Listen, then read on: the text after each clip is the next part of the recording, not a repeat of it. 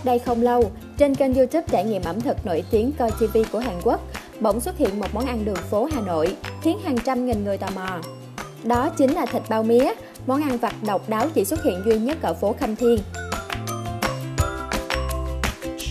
Chỉ mới bán được 2 năm, nhưng hàng thịt bao mía của chị Tâm thu hút được lượng lớn khách hàng nhờ món ăn không đụng hàng này.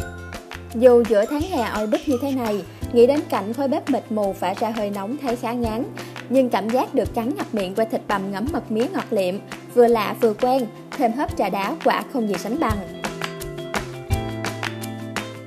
Chị á, làm neo, với cả chị vẫn đang làm neo cả bán buôn quần áo. Cái nhà mình bán nước mía mà, thành ra là có nước mía mình lại cứ nghĩ ra mình làm thôi.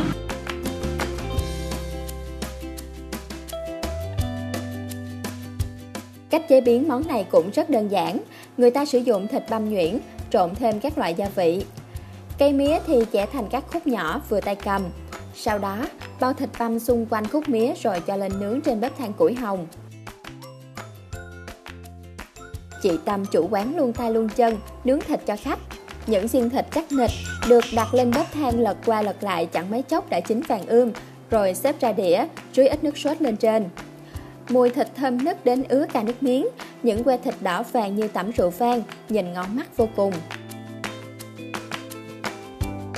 Để có được xiên thịt bao miếng ngon thì còn phụ thuộc vào các gia vị cho vào thịt. Đây là bí quyết riêng mà tâm chủ quán tiết lộ, rằng cô cho đến gần chục loại gia vị để tạo nên mùi vị thơm ngon cho chiếc xiên nướng, trong đó bao gồm cả mật ong. Khi nướng lên, vị ngọt của mật ong, mật từ khúc mía sẽ tan chảy và ngấm vào từng miếng thịt, khiến cho miếng thịt ăn ngon hơn, thơm hơn. Quán chỉ vọn vẹn một quầy bếp nhỏ ngoài vỉa hè, bên trong nhà kê được hai bộ bàn ghế con, thế nên đa số khách ghé qua đều mang mua về hoặc đứng luôn ở đầu phố để ăn.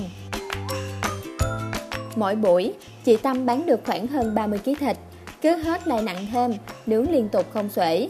Nóng được thế này mà còn bán được từng đó, đến mùa đông, chị Tâm cười bảo số thịt bán được còn nhiều gấp đôi. Một que thịt bao mía có giá chỉ 10.000, ăn cỡ ba que là khách hàng đã no căng bụng. Chị chủ thì lúc nào cũng tươi cười thân thiện, chẳng thế mà người ta cứ thích quay đi rồi lại quay lại, ăn một lần nhớ mãi, nhớ cả hương vị thịt ngon lành và lòng mến khách của bà chủ.